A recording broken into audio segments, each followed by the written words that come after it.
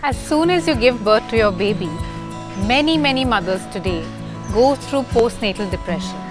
Now, what really is it? And is it necessary for every mother to fall into that trap? Do we all secrete hormones that actually make us depressed after we have a baby? What can we do as our daily dose of happiness if I've just had a baby? First and foremost, how do you secrete dopamine when you're sitting in a room caged up with a baby and feeding all day? Well, dopamine can be secreted as soon as you hear a romantic song or you hear anything even like Badshah or Yo-Yo Honey Singh. That's good enough to get your dopamine to secrete. And if you're not into music, a piece of dark chocolate will do. Oxytocin, purely when your baby is feeding and hugging you skin to skin. The serotonin can actually go up with pumpkin seeds or just some amount of massaging every single day. So take care of your body in that manner. And endorphins, just a brisk walk around your room for a sustained 20 minutes.